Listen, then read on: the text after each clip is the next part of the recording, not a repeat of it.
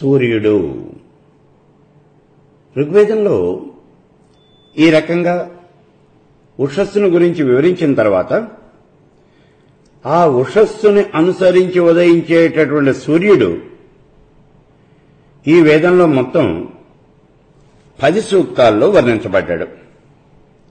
ఇతడు మిత్రావరణల యొక్క నేత్రం. ఈ చరాచర జగత్తుకి అంతటికీ కూడా గూఢచారి చరాచర ప్రపంచానికి ఆత్మ లాంటివాడు. ఇతడే ఈ జగత్తుకి సంరక్షకుడు. ఆకాశంలో ఎగిటేటటువంటి ఎర్రని పక్షి. ఇతడు ఎర్రని గ్రద్ద. ఆకాశంలో వజ్రాభరణం లాంటివాడు. స్వర్గం మధ్యలో ప్రకాశించేటటువంటి పెద్ద మణిలాంటివాడు. మిత్రావరుణుల యొక్క ఆయుధం. ఈ సూర్యుడు ఒక చక్రం. ఇతడు విశ్వకర్మ. ఇతడు దేవపురోహితుడు. ఇతడు మిత్రావరుణుల చేత ఇంద్ర విష్ణువుల చేత ఇంద్ర సోముల చేత అగ్ని చేత ధాత చేత అంగీరసుల చేత పుట్టించబడినట్లుగా మనకి చెప్పబడుతూ ఉన్నది. ఇతడే వీరందరితోనూ ఆకాశంలో ప్రతిష్ఠించబడ్డాడు అని కూడా చెబుతోంది ఈ వేదం. ఇతడు ఏతశం మొదలైనటువంటి గుర్రాలు కట్టినటువంటి రథాన్ని ఎక్కి మిత్రావరుణులు ఏర్పరిచినటువంటి మార్గంలో బయలుదేరి వెడతాడు. చీకటిని పోగొడతాడు. చీకటిని చుట్ట చుట్టి సముద్రంలో పారేస్తాడు. రోగాలు దుస్వప్నాలు పారదోలతాడు. ప్రాణులన్నీ కూడా ఇతడి మీదే ఆధారపడి ఉంటాయి. ఇతడి వల్లనే జీవిస్తూ ఉంటాయి. ఇతణ్ణి ఇంద్రుడు జయించి ఇతడి యొక్క చెక్కలని దొంగిలించాడు అని కూడా చెప్పబడుతూ ఉన్నది ఈ వేదంలో. ఇతడు రథం మీద తిరుగుతూ ఉంటాడు. ఇతడు ఎక్కి తిరిగేటటువంటి రథానికి ఒకటే చక్రము. ఇతను తిరిగే రథానికి కట్టినటువంటి గుర్రం కూడా ఒకటేను అని చెబుతూ ఉన్నది ఈ ఋగ్వేదం. ఈ సూర్యుడి యొక్క రథం ఏకచక్ర ఏకో అశ్వోహతి సప్తనామా అని చెబుతూ ఉన్నది వేదం. అంటే ఆ రథానికి ఏకచక్రము ఒకటే చక్రము ఉన్నది అని అదే కాలచక్రము అని చెప్పబడుతోంది. ఈ చక్రానికి మొత్తం పన్నెండు ఆకులుంటాయి. ఈ పన్నెండు ఆకులే పన్నెండు రాసులు అని చెప్పబడుతూ ఉన్నది. అలాగే ఈ రథాన్ని లాగేది కేవలం ఒక్కటే అశ్వం. ఆ అశ్వం యొక్క పేరు సప్త. అంటే ఏకో అశ్వ వహతి సప్తనామాహ. సప్త అనేటటువంటి పేరు కలిగినటువంటి ఒకటే గుర్రం ఈ రథాన్ని లాగుతూ ఉన్నది. సప్తయుంజంతి రథమేక చక్ర. ఏకో అశ్వోహతి సప్తనామాహ సప్త అనే పేరు కలిగినటువంటి ఒకే అశ్వము ఈ రథాన్ని కట్టబడి ఉన్నది. ఇది మనకు చెప్తూ ఉన్నది. అయితే ఇక్కడ వాడుకలోకి వచ్చేటప్పటికి మాత్రం సప్తాశ్వరథమారూఢం అని అంటే ఏడు గుర్రములను పూజించినటువంటి రథం మీద ప్రయాణించేటటువంటి వాడు అని చెప్పబడుతున్నది. ఇలా అర్థం చెప్పుకుంటూ ఉన్నారు మన వాళ్ళు ఇక్కడ కారణం ఏమిటి అంటే రంగులు మొత్తం ఏడు ఉన్నాయి అని ఈ విషయం మనకు తెలుసు. ఆ ఏడు రంగులకి ప్రతీకగానే ఏడు గుర్రాలని ఈ సూర్యుడి యొక్క రథానికి కట్టారు. మరి అయితే ఏకో అశ్వవతి సప్తనామాహ సప్త అనే పేరు కలిగినటువంటి ఒకే గుర్రము ఉన్నది అని చెప్పారు కదా. అని అంటే దానికి కూడా అర్థం ఉంది. ఎందుకని అంటే ఈ ఏడు రంగులు కూడా కలిసిపోయినట్లయితే మనకు కనిపించేది ఒక్కటే రంగు తెల్లని కాంతి దేదీప్యమైనటువంటి కాంతి. దాన్ని దృష్టిలో పెట్టుకుని సత్తా అనేటటువంటి దివ్యమైనటువంటి కాంతి పుంజము అదే ఈ అశ్వము అని చెప్తూ ఉన్నారు అక్కడ. ఈ రకంగా సప్త అనేటటువంటి అశ్వము అంటే ఇది ఒకటే అశ్వమని కాదు ఇది ఏడు గుర్రాలు పూంచినటువంటి రథము అని రెండు రకాలుగాను కూడా దీనికి వ్యాఖ్యలు చెప్పడం జరుగుతూ ఉన్నది. సవిత. ఋగ్వేదంలో తర్వాత చెప్పినటువంటి దేవత పేరు సవిత. ఈ సవిత అనే దేవత ఋగ్వేదంలో మొత్తం పదకొండు సూక్తాల్లో వర్ణించబడతాడు. ఇతడు ఒక బంగారు దేవత. ఇతడి శరీరం అంతా బంగారమే. ఇతడి సర్వావయాలు రథం. ఆ రథం మీద ఉన్నటువంటి స్తంభం అంతా కూడా బంగారుమయం. ఇతని రథాన్ని లాగుతూ ఉన్నటువంటి గుర్రాలన్నీ కూడా బంగారు రంగులో దివ్యమైనటువంటి కాంతులతో ప్రకాశిస్తూ ఉంటాయి.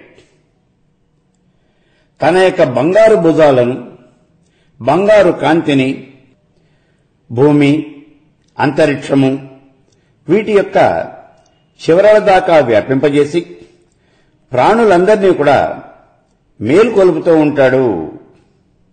తెల్లవారేసరికి ఇతడు తన పొడవైనటువంటి చేతులతో అందరినీ కూడా నిద్రలేపుతూ ఉంటాడు. అందరినీ ఆశీర్వదిస్తూ ఉంటాడు. ఇతని తల మీద ఉన్నటువంటి వెంట్రుకలు కూడా బంగారు రంగుతోనే ప్రకాశిస్తూ ఉంటాయి. సూర్యుడి యొక్క తేజస్సుతో ప్రకాశించేటటువంటి ఈ దేవత తూర్పు నుంచే తన యొక్క కాంతిని ప్రసరింపజేసి తన యొక్క భక్తుల పాపాలను దుస్వప్నాలను పోగొడుతూ ఉంటుంది. రాక్షసులను పాపులను నాశనం చేస్తూ ఉంటుంది. ఈ దేవత జలములు వాయువు వీటితో స్నేహం చేస్తూ ఉంటుంది. వీళ్ళే ఇతని యొక్క అనుచరులు. దేవతలకందరికీ కూడా ఈ సవిత అనేటటువంటి దేవతే నాయకుడు. ఇతని ఇష్టాన్ని అడ్డగించగలిగినటువంటి వాడు దేవతలలో గాని మానవుల్లో గాని ఎక్కడా కూడా లేడు. ఇతడు రాత్రిపూట అందరినీ కూడా విశ్రాంతి తీసుకునేటట్లుగా చేస్తాడు. గాయత్రి మంత్రం ద్వారా మంచి ధీశక్తిని ఇమ్మని జనులంతా కూడా ఇతన్ని ప్రార్థిస్తూ ఉంటారు అని చెప్పబడింది ఈ ఋగ్వేదంలో. ఆ తరువాత దేవత పూష. సూర్యుడి యొక్క ప్రతిరూపమైనటువంటి ఈ దేవత ప్రత్యేకంగా ఎనిమిది సూక్తాల్లోనూ ఇంద్ర సోములతో కలిసి ఒక్కొక్క సూక్తంలోనూ కీర్తించబడ్డాడు. రాత్రి చీకటిలో పోగొట్టుకున్నటువంటి వస్తువులు పగటిపూట మళ్ళీ తిరిగి వచ్చేటట్లుగా చేసే శక్తి కలిగినటువంటి వాడు ఈ దేవత. ఇతడికి దంతాలు లేవు. అందుకని మెత్తగా ఉండేటటువంటి జావా అదే ఇతడికి ఆహారం.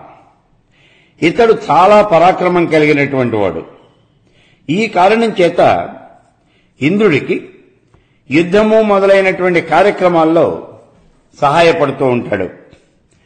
జటాజూటాన్ని ధరించి మేకలులాగే రథాన్ని ఎక్కి అలా తిరుగుతూ ఉంటాడు.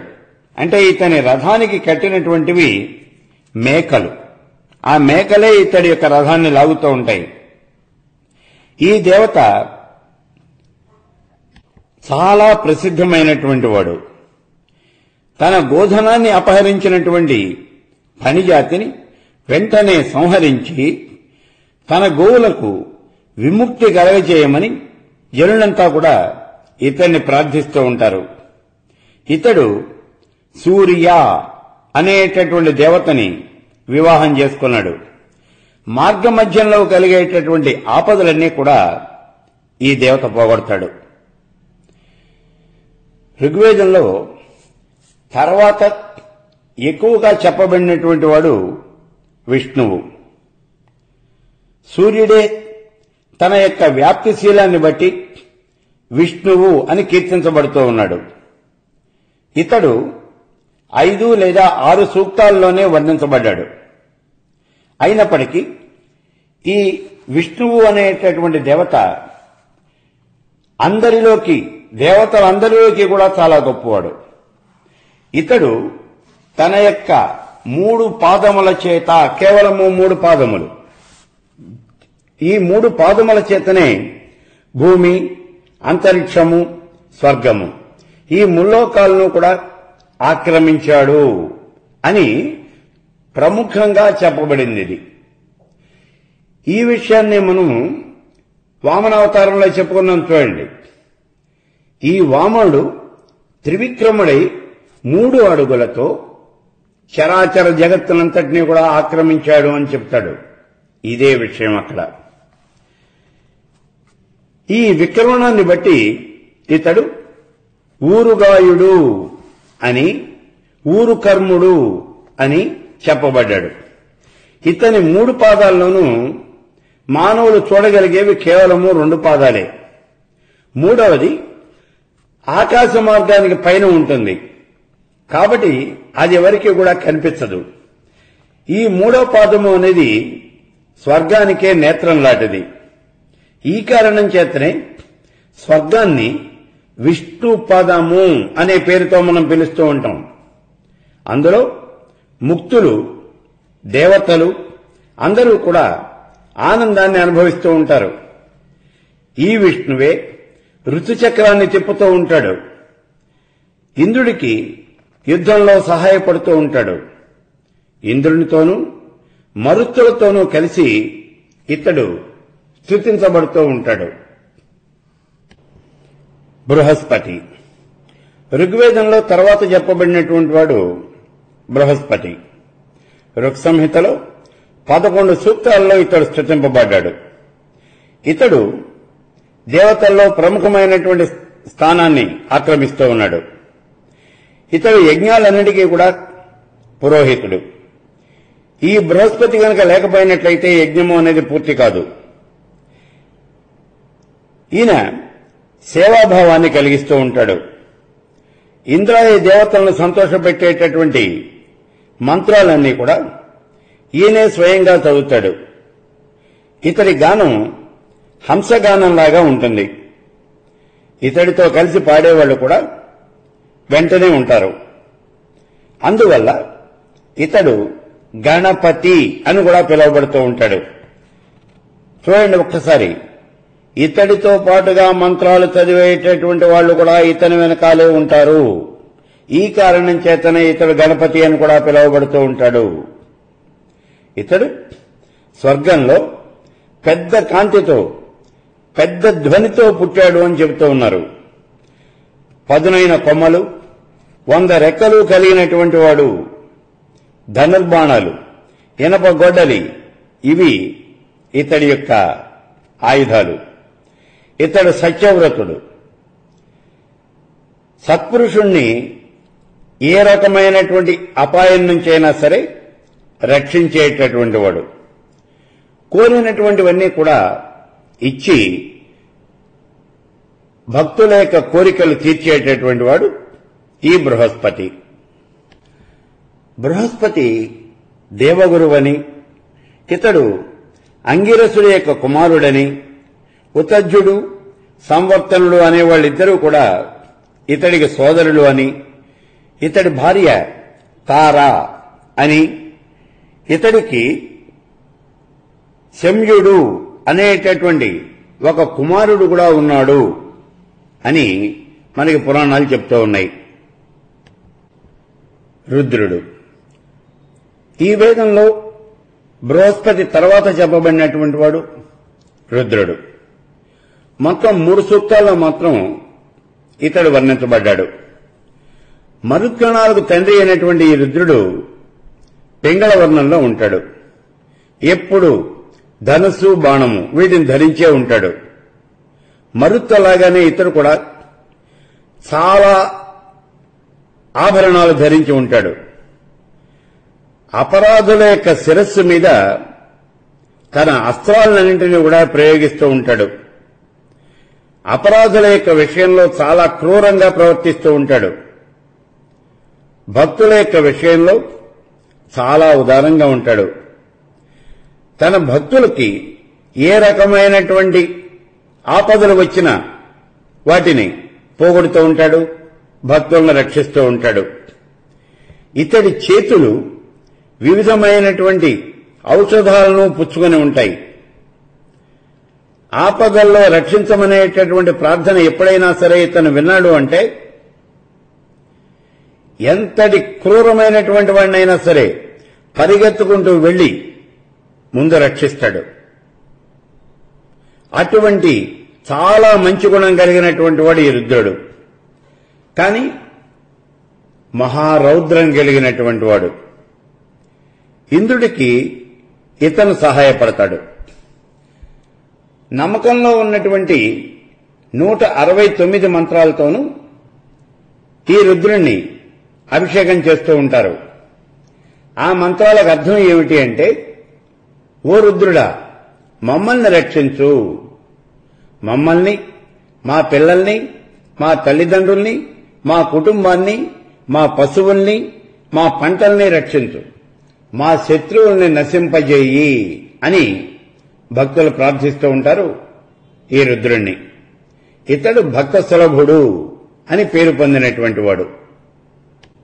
యముడు. ఆ తర్వాత చెప్పుకోదగినటువంటి వాడు యముడు. ఇతడు ప్రేతాత్మల యొక్క సామ్రాజ్యానికి అధిపతి అని చెబుతూ ఉన్నారు. ఇతన్ని కూడా కేవలము మూడు సూక్తాల్లోనే వర్ణించారు.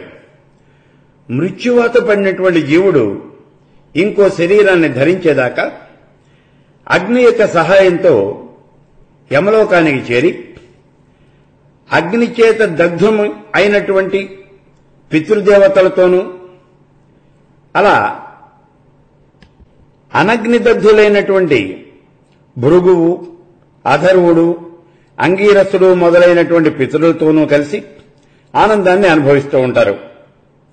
యజ్ఞంలో ఆవాహన చేయబడినటువంటి పితరులతో పాటుగా ఈ యముడు కూడా అక్కడికి ఆవాహన చేయబడి ఆహుతులన్నీ కూడా స్వీకరిస్తాడు.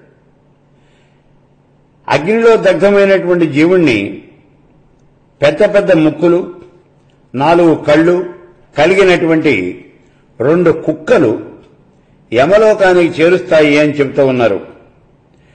మరణించబోయేటటువంటి వ్యక్తులను వెతికి వాళ్ళని యమలోకానికి తీసుకుపోవటం అనేది ఈ కుక్కల యొక్క పని. ఈ యముడి యొక్క తండ్రి వివస్వంతుడు తల్లి శరణ్య. గుడ్లదూబ యముని యొక్క వార్తాహరుడు అని చెబుతూ ఉన్నది ఈ ఋగ్వేదం.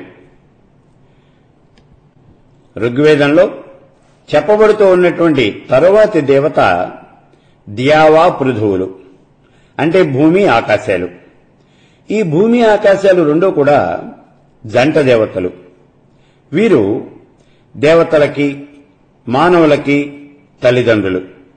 వీరు ప్రాణులందరినీ సృష్టించారు.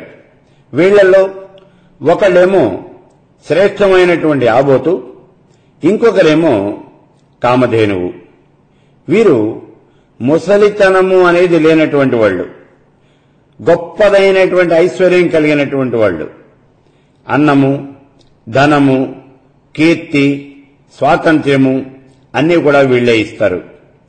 తల్లిదండ్రుల్లాగా ఈ జీవులందరినీ కూడా పాపాల నుంచి దురదృష్టాల నుంచి రక్షిస్తూ ఉంటారు. వీరు యజ్ఞానికి సారథ్యం వహిస్తూ ఉంటారు. ఇలాగే మరుత్తులకు తండ్రి అయినటువంటి వాయుదేవుడు విశ్వకర్మ అయినటువంటి త్వష్ట దేవమాత అయినటువంటి అదితి రాక్షసమాత అయినటువంటి దితి మేఘదేవత పర్జన్యుడు ఇంకా అనేకానేకమైనటువంటి దేవతలంతా కూడా ఈ ఋగ్వేదంలో స్తుతించబడ్డారు. అయితే వీళ్ళందరిలోకి ఇప్పుడు మనం చెప్పుకున్నటువంటి వాళ్ళు మాత్రమే ముఖ్యమైనటువంటి దేవతలు.